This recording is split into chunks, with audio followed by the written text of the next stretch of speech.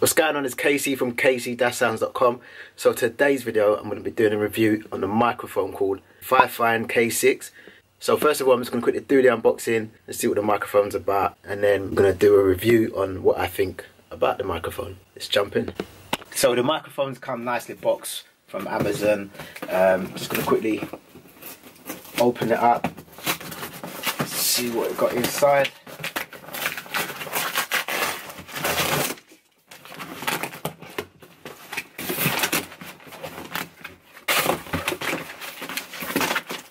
So we've got good packaging, comes in a massive box, and it doesn't look too bad. It looks it looks um it looks legit really.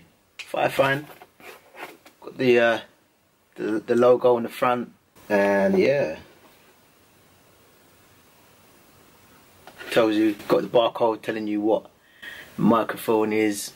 We've also got that it's made in China. Some people probably think, oh, it's made in China, so it's not going to be that good. Let's not write it off yet.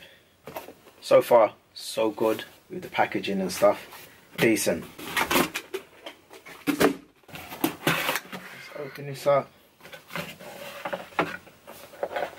Okay. So we've got a user guide. That's all good. And then we've got the Fifine Technology card in here telling us kind of like a care package thing. It's nice. It's like kind of like when I open up the Aston and it got all the little bits and pieces and the little trinkets and that makes you feel special. Instructions telling you what it does, what the mic's about, and straightforward instructions, dynamic vocal microphone with smooth mid frequency, cardioid pickup pattern, XLR to quarter inch mic cable, solid and durable, uh, on and off switch. It's telling you how to use it as well, like from step one to four. Not bad. Alright, so let's see what this mic looks like. First of all, we've got the cable. Cable's looking kind of long still. So this probably be more for public speaking and stuff like that. Or some kind of event where you're just going to be talking and talking you know. And here we have the mic, nicely packaged. Feels like a nice mic. Smooth, smooth finish.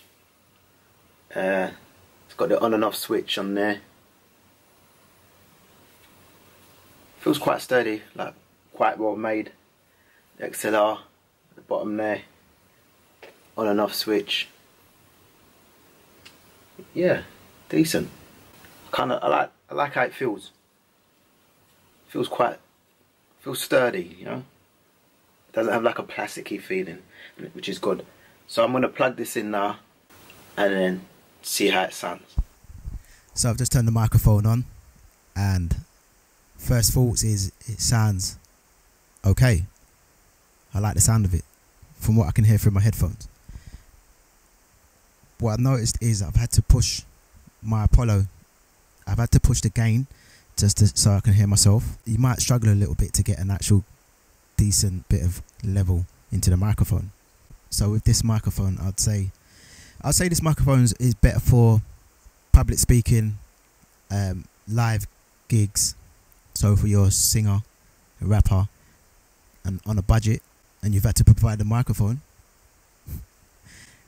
then this is a good starting point because at 1999 this microphone sounds quite sounds good. Uh, reminds me of an SM57 one of those Shure microphones and it's probably based on that being a dynamic dynamic microphone. I feel like a bit of an MC like uh, back in the days when I used to to rap. I know some rappers like to hold the microphones like this and it seems like he's still getting a good bit of level.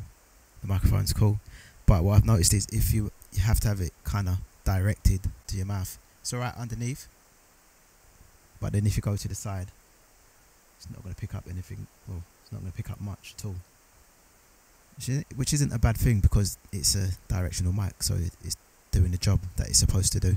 My thoughts on this microphone is good mic.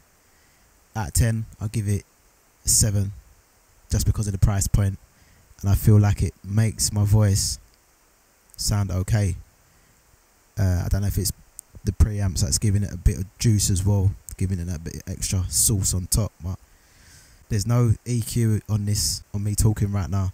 It's just a straight signal. So I want to run it through Logic Pro as well to visualize what the actual microphone's doing and if I'm hearing something different to what is actually being recorded. So that'd be interesting. So I've listened to the mic and in Logic, um, brought up an EQ to see what it's doing, and uh, the low end's boosted a bit, and it doesn't seem it's quite sibilant as well. So for a budget mic, it's kind of expected.